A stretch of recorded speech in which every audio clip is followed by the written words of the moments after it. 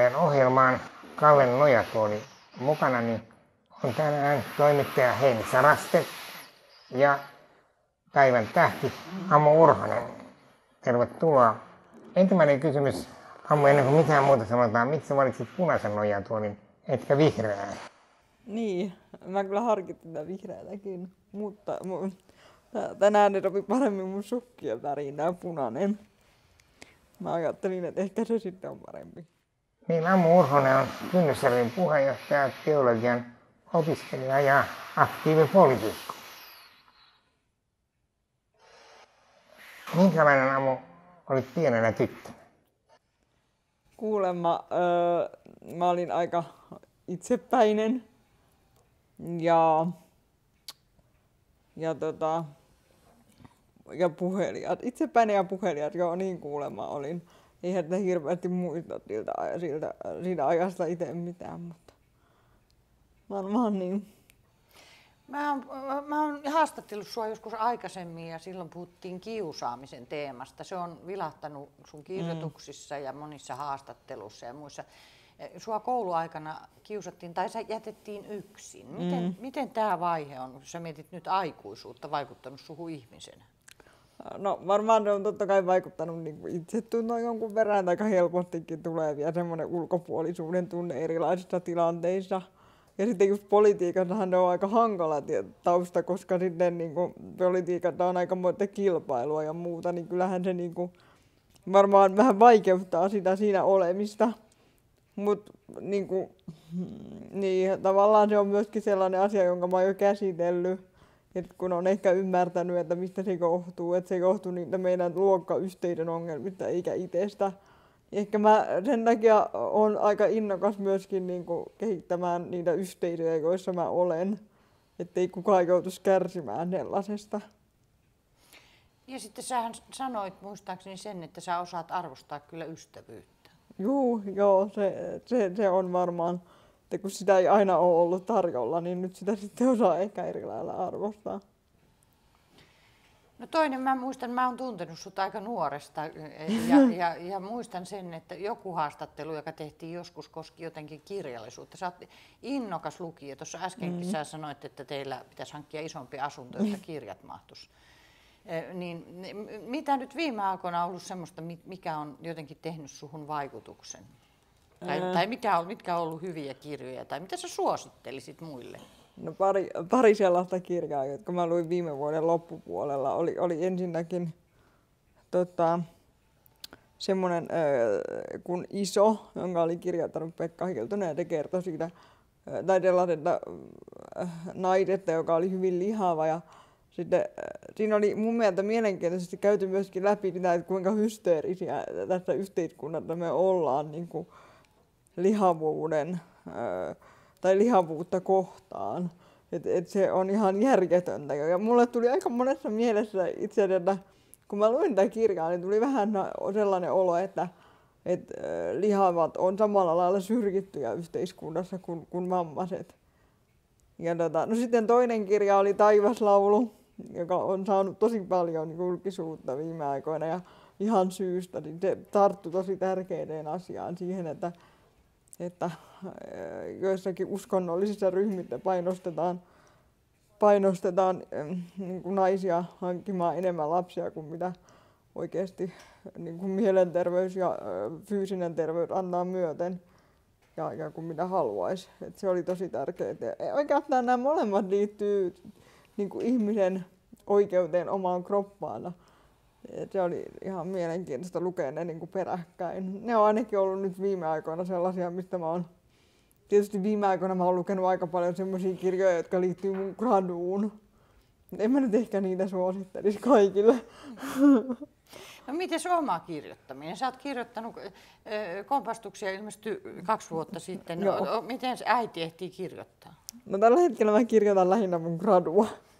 Mutta tota, mut, kirjoittaminen on aina ollut mulle aika sellainen niin kuin luonteva asia. Ja se on, se on vähän niin kuin hengittäminen, että sitä nyt vaan täytyy tehdä. Et ei voi niin kuin ajatella, että mä lopettaisin ne jossain vaiheessa. Jos ei muuta, niin mä kirjoitan vaan päiväkirjaan niin jotain merkintöjä. jos ei mitään muuta ehdi, mutta ihan hyvinhän sitä niin kuin löytyy, löytyy kuitenkin sitä aikaa, etenkin kun, nyt kun lapsi on niin ikäinen, että se on päivähoidossa ja muuta. Niin. Mutta tällä hetkellä tosiaan ne kyllä rajoittuu siihen graduun. En ehdi paljon muuta kirjoittaa, mutta varmaan sitten myöhemmin taas voi vähän niin kuin jotain ää, luovempaa tai yhteiskunnallisempaa kirjoittaa. Oletko ajatellut kirjoittaa romaania, kaunokirjallista? Vai onko se salais? No kyllä mä varmaan ajattelin, joo, niin on mulla muutamia ideoitakin, joo, kyllä, mutta siihen pitää sitten löytää niin kuin aikaa ja, ja perehtyä, miettiä se aihe kunnolla, että mikä se voisi olla. On mulla pari, pari aihetta. Just mä puhuin yhdelle mun kaverille, joka on kirjailija, niin siinä ja, ja, ja ne, sain ihan hyvää palautetta niistä aiheehdotuksista, niin mutta saan nyt nähdä, että löytyykö siihen sitten aikaa, koska se, se vie aika paljon niin kuin, se vaatii aika paljon. M- mutta siis mä käsitin niin, että joka päivä on kuitenkin kynä kädessä. On, on, on, joo. Ja nimenomaan kynä kädessä. Mä en ole yhtään sellainen, niin kuin mun mielestä tietokoneella kirjoittaminen on inhottavaa, niin sitten mun täytyy saada kirjoittaa myös käsin. Ei mennä tuohon, sä voi etenkin sanoa aktivistiksi. Joo. Ja, ja mä muistan hämärästi, mä niin vanha, että mä muistan enää kirkkaasti, että sä olit aika nuori, kun sä tulit ekan kerran kynnykseen. Mä olin 17. 17. Mitä saisit liikkeelle? Ää, maailmantuska. Mä tajutin, tai, oikeastaan no ihan mun ensimmäinen, niin kun, no nyt kun mä oon kertonut, että jo ekan kerran julkistettiin, niin mä voin varmaan tässäkin sanoa, että mä niin havahduin tähän niin kuin vammaispolitiikkaan sillä lailla, että mä lukio, lukion vessasta mä löytin sellaisen lehden, jossa noi Ruotsin kuningatar selitti, että hän hän, äh, hänen mielestään vammaisten pitää itse toimia omien niin kuin, asioiden edistämiseksi. Vähän hassua. Se oli siis opettajien vessa ja sen takia siellä oli lehtiä. Niin tota, sitten, ää, äh, ja sitten mä sanoin sille, tota, tai sitten mä ää, äh, tapasin yhden opettajan siinä, se oli ilmeisesti vessajonossa ja mä tapasin sen siinä. Ja sanoin, että onpa hieno ajatus, että hei, että mähän haluan nyt lähteä niin kuin, mukaan tällaiseen toimintaan. Ja se opinto-ohjaaja sanoi mulle, että sun täytyy mennä kynnykseen. Ja niin mä sitten tulin. Siis vessajonoista on hyötyä. Mm. Mutta mitä nyt? Sä olit silloin, silloin tota 17, 18, niin nyt sä oot jo, ei nyt sanota tarkkaan ikä, mutta lähes yli 30 ainakin. Ja tota, niin kynnys on sulla aika merkittävä, sä oot nyt puheenjohtajana. Että mm. Se vie aikaa ja energiaa, kuinka sä jaksat? Ja, ja no ihan hyvinhän niin kuin, kynnys on tosiaan mulle tosi merkittävä, että se, mulla ei ole ollut aikuisikään sellaista aikaa, kun mä en olisi ollut kynnyksessä ja mä oon aina pitänyt sitä kynnystä tosi tärkeänä ja musta on tosi kiva, että mä voin olla hyödyksille, koska mun mielestä kynnys on niin kuin, ehkä paras keksinnö ikinä. Ja myöskin mä oon tätä kautta saanut ystäviä ja, ja, ja niin kuin, öö, vertaistukea ja myöskin ihan tietoa asioista. Öm, miten mä jaksan? No, no mä luulen, että mä jaksaisin vähän huonommin, jos mä tietäisin, että maailmassa on niin paljon pielessä. Niin kuin me kaikki tiedetään, että maailmassa on kauheasti väärin kaikkia asioita, eikä mä en yrittäisi tehdä sille mitään. Mun on, mulle jotenkin antaa voimaa se ajatus, että mä edes yritän. Että en tiedä onnistunko aina tai teenkö riittävästi, mutta ainakin mä yritän. No se on joskus turhauttava, kun ei tiedä mitä saada aikaa, sen vasta myöhemmin. Mm. Mutta miten tähän ei kynnys ainoa sun aktiivi, aktiivismi on myös politiikassa mukaan, joka aika julmaa peliä. On se välillä, joo. joo. Ja ehkä just sen takia mä oon viime aikoina vähän niin kuin etääntynyt puolueesta. Mähän on ollut tosi paljon tosiaan puolueessa mukana. Et mä oon ollut puolueen valtuuskunnan puhe, varapuheenjohtajana ja mä oon ollut kaik, varmaan ei ole sellaisia vaaleja, missä mä en olisi niin kuin ollut ehdolla, tai eri, erityyppisiä vaaleja, jos ajatellaan.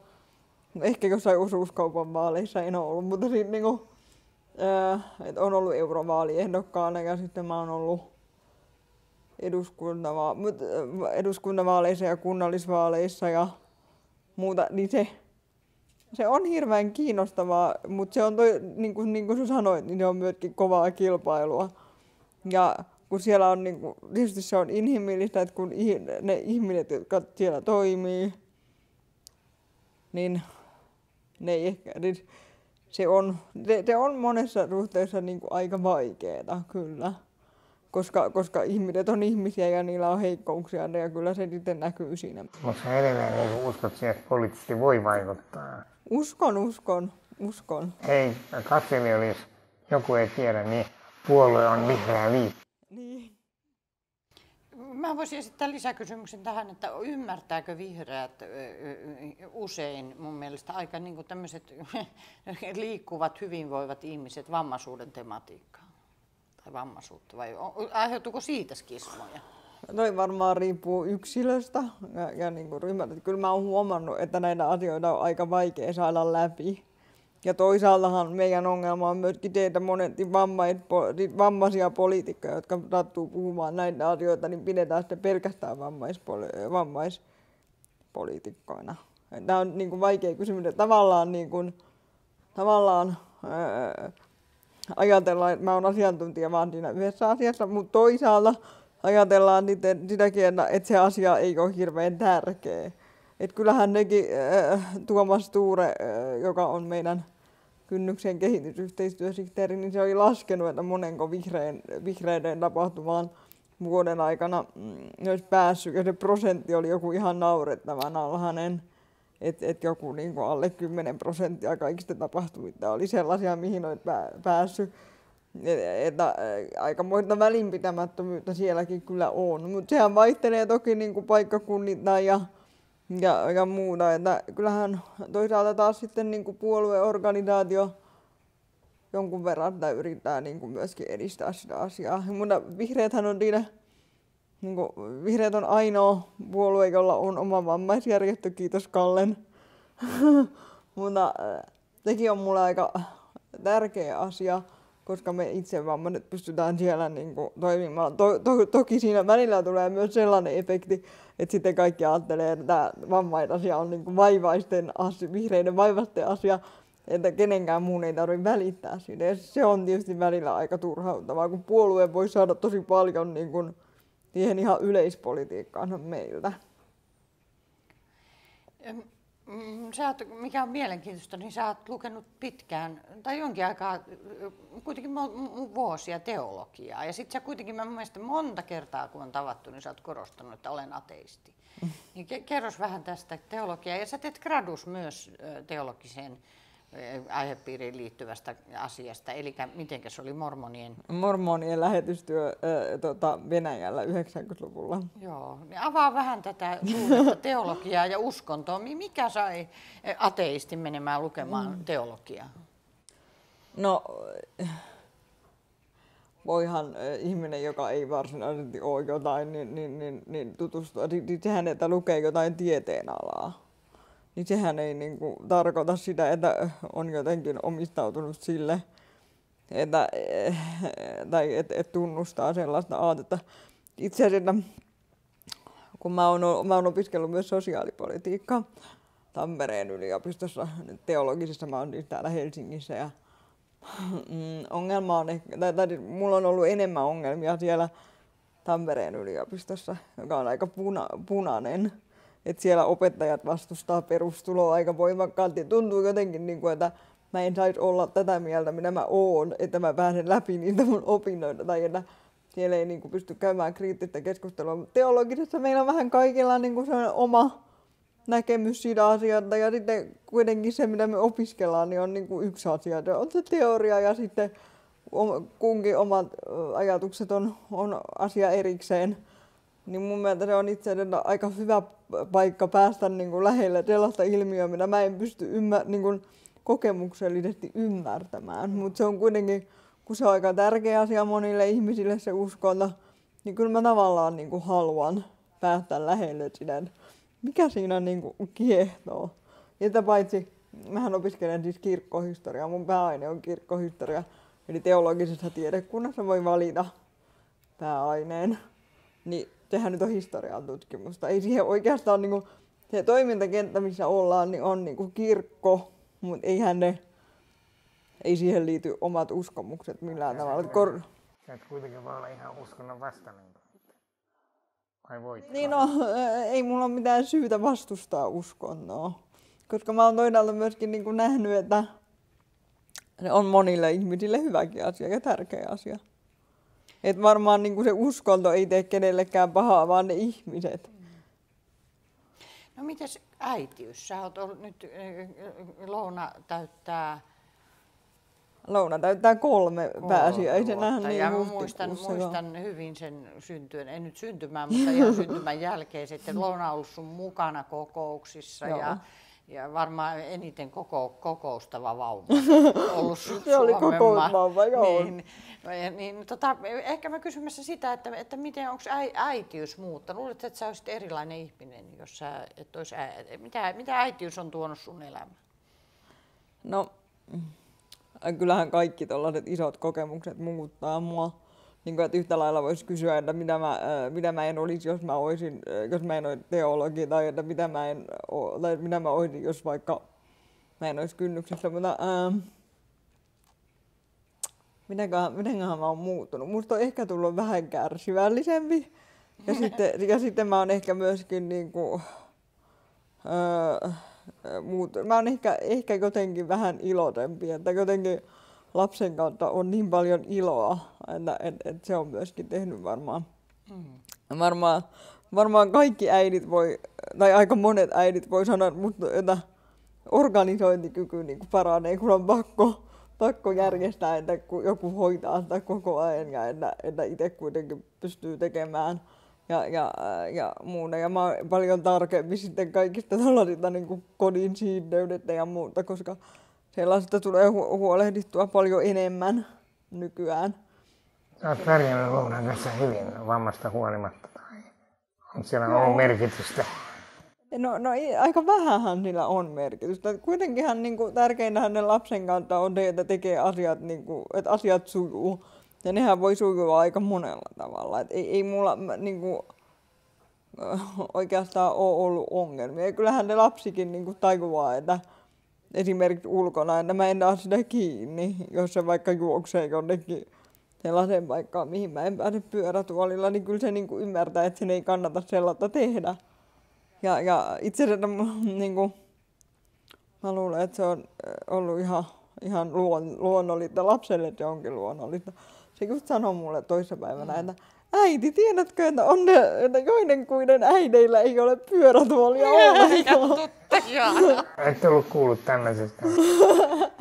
Miten he ei ole saanut asiallista apua niin kuin äitiysneuvonnassa ennen synnytystä ja sen jälkeen? No meillä oli yksi sellainen äh, neuvolalääkäri, joka oli aika hankala. Et se oli sitä mieltä, että ei vammaisten pidä mitään lapsia hankkia. Mutta onneksi niitä lääkärin konsultaatioita on niin vähän, että sitten ne terveydenhoitajat, niin nehän oli tosi kivoja. Ja aina oli valmiita niin kuin auttamaan tai neuvomaan. Tosin niin täytyy kyllä sanoa, että aika monta kertaa musta tuntui siltä, kun mä kävin vaikka synnytyksen suunnittelussa tai, tai näin, niin, niin ne kyseli multa, että et miten tämä nyt menee, kun sä käytät pyörätuolia. Mä mietin, että, no ihan, että teidän pitäisi vastata mun kysymyksiin, mutta ei, se ei mennyt niin päin.